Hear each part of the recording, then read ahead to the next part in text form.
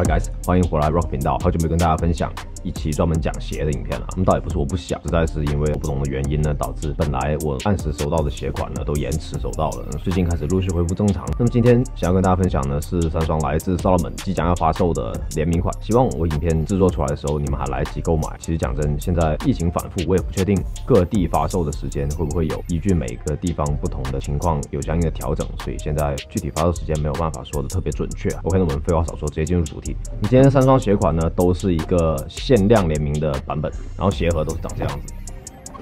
具体的货号标签我会贴在画面上，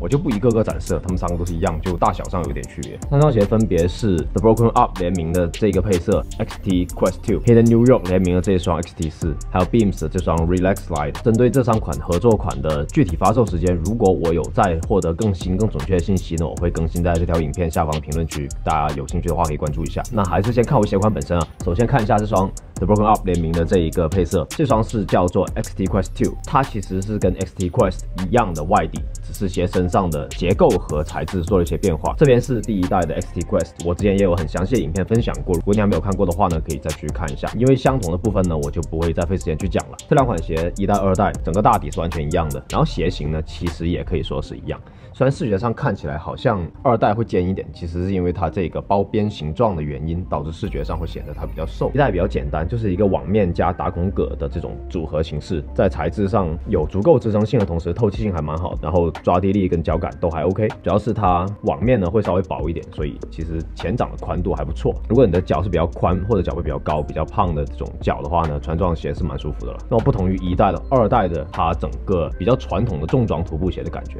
而且也换换成了这种传统的绑带，而不是 Salomon 一直的快速抽绳系。不过它这个也还算方便，最上面的这个扣子是这种钩环设计啊，也比较好解和绑，并且这一双鞋呢还附赠了多一个颜色的鞋带。多一个颜色是这种棕红色的，我就没有换上去了。穿着的感受呢，这双鞋的包裹感会比一代来讲强了很多。当然，你可以从它的鞋身结构也能看得出来啊，不只是在一代的基础上贴多了一层皮革这么简单。仔细看一下，一代这边是一二三三个 Sense Fit 的拉力结构，二代就换成了两个是这种直接车线车在鞋身上的，然后后两个是分离式的装了登山扣，在包裹感受上会包的更加的贴合一点，而且这样看的效果也比较帅。鞋头一大块黑色包胶。加上黄色的部分全都是这种比较有韧性的牛巴革，后跟位置还再做了多一块皮革的补强，整双鞋叠了好几层不同的材质，穿着感受上都会变得比较重一点点。那么性能方面呢，因为大底都是一样的，所以其实使用起来差不多。这边网面的部分变得比较少了，所以它的涉水能力呢比一代高了一点点。OK，那么这是 The Broken Up 这一双 XT Quest 2大概的第一眼开箱感受，因为这些鞋子我也才收到没几天，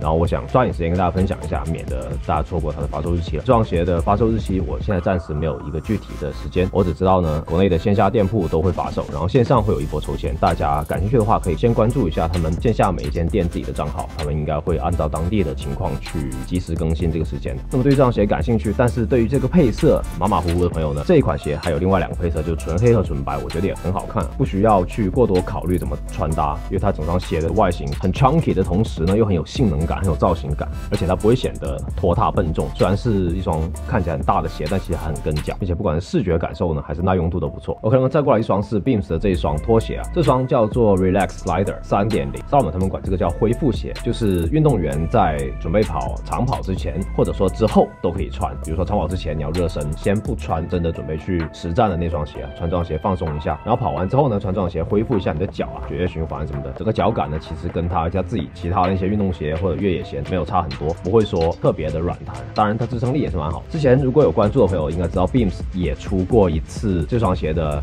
联名，它的颜色是那种偏大地色系，有点土黄和军绿的搭配。然后这次换成蓝灰色，当然还是原样了，左右脚的渐变颜色不一样。我个人感觉蓝灰色会比较适合这双鞋。之前那双联名的颜色，我觉得会有点过于户外野营的感觉了，就是使用的场景会比较受限。这双我觉得是户外 OK，然后城市穿也 OK，就是随便下楼买点东西很舒服的一双鞋。他们现在官网有在售卖这款鞋的版本是第五代五点零的，然后现在这一个联名是三点零的版本。这鞋除了有拖鞋的版本呢，然后它有人字拖的版本，还有一个是有后跟那个 Mock 版本，我觉得都不错。但如果你想要长时间穿着，就真的是出门的话，还是推荐有后跟的 Mock 版。我有一双之前穿过的这个旧一点的版本，旧一点版本它的内里直接是泡棉，就没有织物面的，其他的差别不是很大。总整双鞋对于脚的保护性还是蛮好的，比较适合在野外穿着的一双拖鞋啊。正常可能那些买到的运动品牌的拖鞋都不一定能在野外穿，当然是居家或者下楼或者城市逛街都没有问题。它这边也是有这种黑色耐磨的大底，都是 Salomon 自己的这个 Counter Grip 的科技，然后整双鞋重量也比较轻。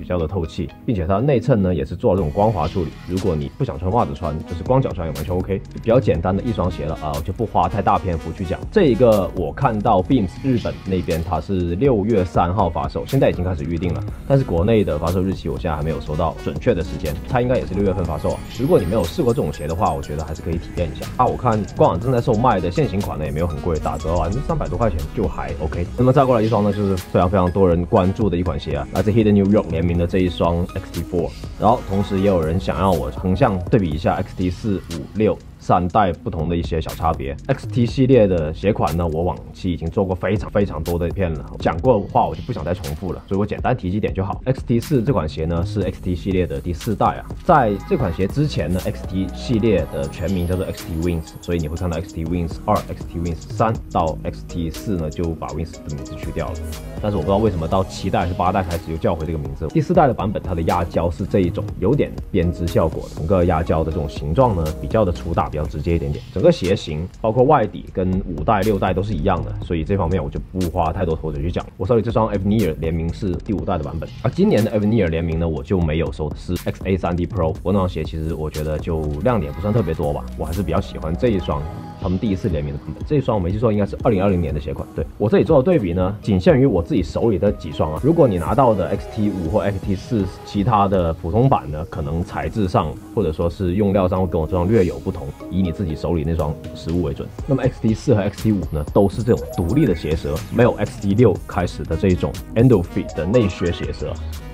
在后跟形状方面，XT 四和 XT 五的后跟这个位置都比较窄一点点，并且它们是有这一个遮住后跟缝线的保护层加固层。四代这边还有几条横线，但五代这边呢就比较干净一点点，形状上都差不多。那到六代呢就去掉了这个保护层，你可以直接看到。缝合这条线，并且它的后跟这个位置也加宽了一些，夹你的脚筋夹的比较紧一点。鞋口的这个弧度低了，因为鞋舌短。这边是由于独立鞋舌的关系，它的这个弧度会高一点。我觉得如果你是日常在城市压马路造型穿的话，四跟五我都还蛮推荐的。独立鞋舌其实穿起来很舒服。如果你真的是有那种每个人脚背形状不一样，不管你穿什么鞋。鞋舌都会有点歪，这种情况我就会建议你买第六代，因为它的鞋舌是在底下做了一个缝合，它就不会歪了。OK，那么再过来呢，第五代的压胶纹路已经开始趋向于第六代的感觉了。这个位置分了一小条线出来，当然这只是一个形状上的设计，压胶整体的造型呢还是以这个宽宽的边为主，一样的都是这种粗的过去。然后后面这个透气格的位置。跟四代是比较像的，那么到第六代呢，整个都封起来了，变成一个非常高的涉水位置。